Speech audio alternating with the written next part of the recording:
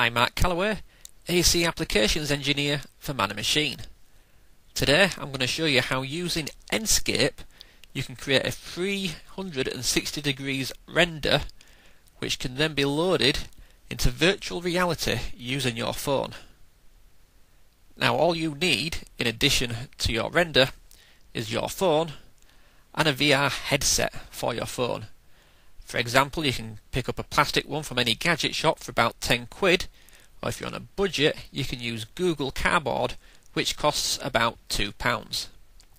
So, how do we create this 360 degrees virtual reality render of your Revit model using Enscape? Well, first of all, you need to open up your 3D model within Revit, load it into Enscape, which I've already done. If I just move this to one side,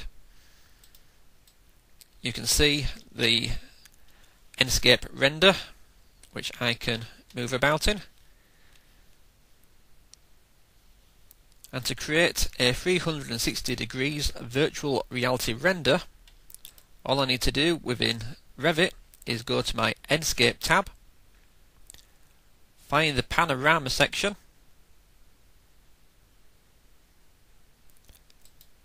and under take panorama. I'm going to expand that and I'm going to go for stereo. And what that is going to do is it's going to take a 360 degrees render twice one for each eye so that your eyes on the uh, virtual reality headset have slightly different views to give you the 3D immersive experience. Now I've already gone ahead and created that. So if I go to my panoramas you can see I have one in my library already and this is uploaded into the cloud.